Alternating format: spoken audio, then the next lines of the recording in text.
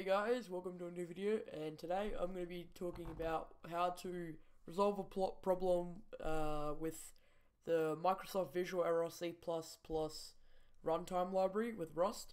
Now this may not stop your Rust from crashing, but it'll stop this error from coming up. Now there's a lot of ones that you say, like there's ones that you, you have to put a command in console in the CMD and what worked for me is that uninstalling the C++ drivers and basically just reinstalling them. So that's what we're going to be doing today. Hopefully this works out for you guys.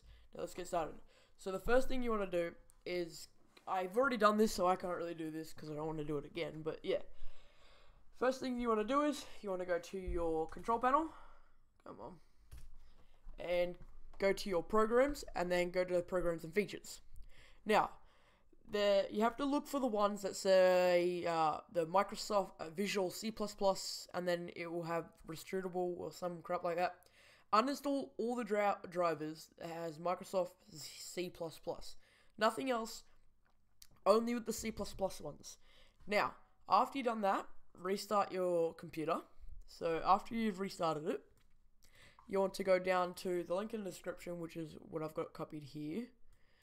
Uh, you may even have, like, I don't even know if it's a direct link because I pasted it in here. Go to your Google Chrome after you've uh, uninstalled them, then restart your computer. Now, uh, then you want to go ahead and uh, click on the link in the description and, oh god. Uh, oh god, there we go. To go to that. It's also on uh, Microsoft, it actually tells you what to do, as you can see, as you can say here, see here. It says open the program features, uninstall, blah blah, and it only uninstall the uh, restreamable shit package and nothing else because I don't know too much about the shit, but I know that it could stuff up your computer or some shit like that. Not too sure, but this is what happens with me.